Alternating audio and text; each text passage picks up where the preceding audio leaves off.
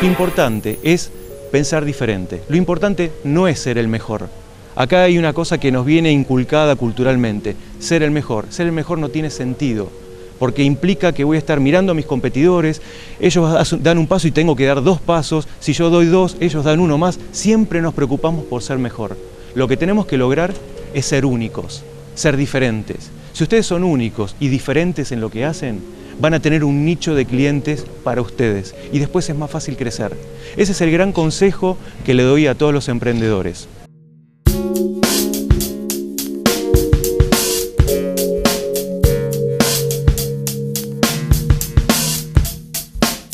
Existe una organización que se llama el Global Entrepreneurship Monitor, que es una organización que monitorea todos los emprendimientos a nivel mundial.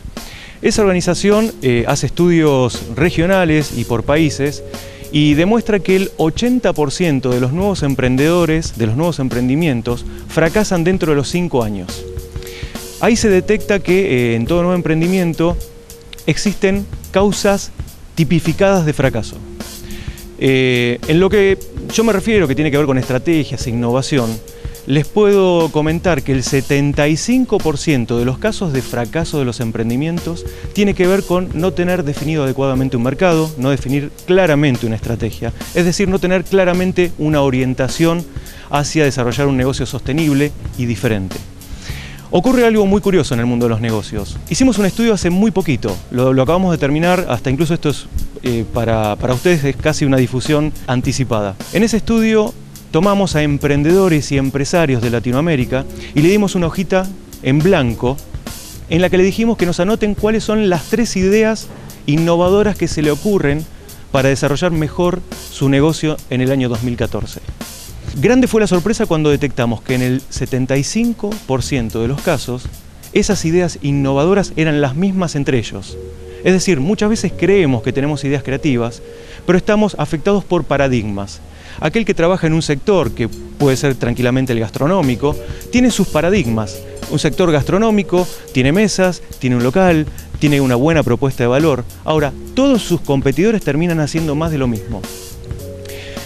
En la brújula del estratega, que es un tema en el que yo estoy dando conferencias últimamente porque es un tema muy actual, se detecta que arriba del 90-95% de los casos de negocios tienen una estrategia mal definida. Con lo cual, la propuesta a la hora de hacer buenos negocios y diferenciarse es preguntarse, ¿cuál es la necesidad? ¿Cuál es el sentimiento que satisface mi emprendimiento? Preguntarse eso.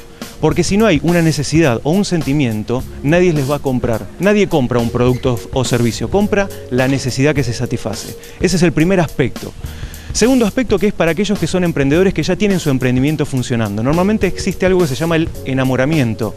Creemos que nuestro emprendimiento, nuestro negocio es el mejor, pero sin embargo hay gente que no nos compra estamos muy claros, sabemos y lo tenemos bien, bien concreto por qué sí nos compra. Sabemos los atributos, las ventajas comparativas, competitivas, sabemos por qué la gente nos compra. Una segunda pregunta que podemos hacernos es, ¿por qué hay gente que no nos compra?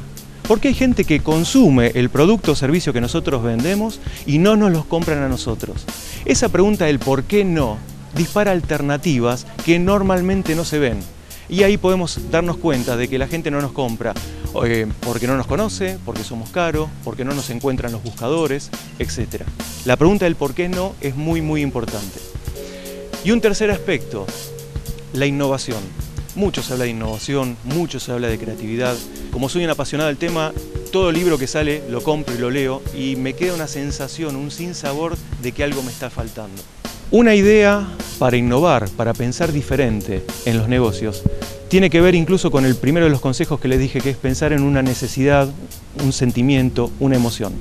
Pregúntense su negocio, qué necesidad, qué sentimiento está satisfaciendo. Por ejemplo, si yo soy consultor, la gente no compra un consultor, no necesita un consultor. La gente lo que necesita es resolver un problema. Esa es su necesidad. Entonces, para ser innovador en el mundo de la consultoría, tenemos que quedarnos con la necesidad que satisfacemos. Por ejemplo, resolver un problema. Nos olvidamos que somos consultores y pensamos en los negocios, en el mundo.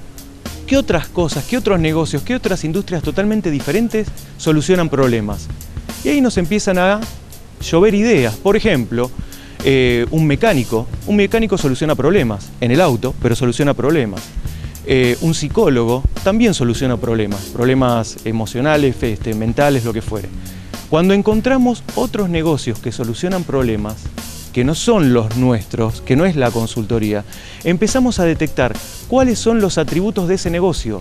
¿Cómo hace una persona para elegir un mecánico? Pensemos, ustedes cuando tienen un problema en el auto o un problema en su casa con la electricidad, ¿cómo hacen para elegir un electricista, un mecánico? ¿Cómo lo eligen? ¿A quién le preguntan? ¿Cómo consultan? ¿Cómo los buscan? ¿Cómo terminan de definir si llaman a tres cuál de esos tres es? Cuando ustedes salen del paradigma de su negocio y entienden cómo elegir un electricista, un mecánico o un psicólogo, se van a dar cuenta que los atributos, criterios que tienen a la hora de tomar esa decisión se puede aplicar a su negocio.